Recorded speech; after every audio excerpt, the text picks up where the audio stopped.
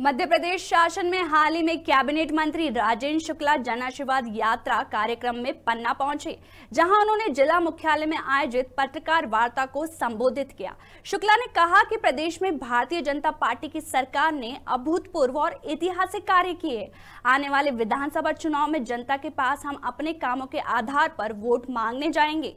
जन आशीर्वाद यात्रा को पूरे प्रदेश में जो जन समर्थन मिल रहा है, उससे हम पूरा विश्वास है कि भाजपा की प्रदेश में पूर्ण बहुमत के साथ सरकार बनने के लिए सात प्रदेश के विकास की गति और तेज होगी।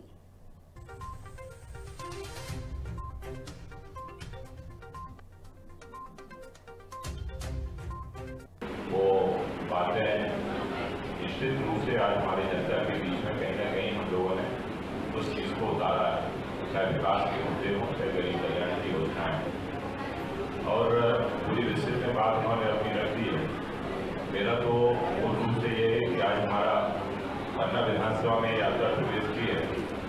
और आज ही कल रात को आई और आज ये निकल के छतरपुर ज़िले के अंदर चली जाएगी।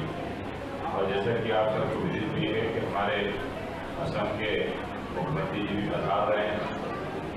लेकिन आपसे मेरा एक और मैं आग्रह करना चाहता हूँ कि आज हम अपना भी, क्योंकि माननीय अमित शाह जी ने भारतीय जनता पार्टी का एक रोड मैप रखा था जो हमारे सामने है जो हमारे बीच में है।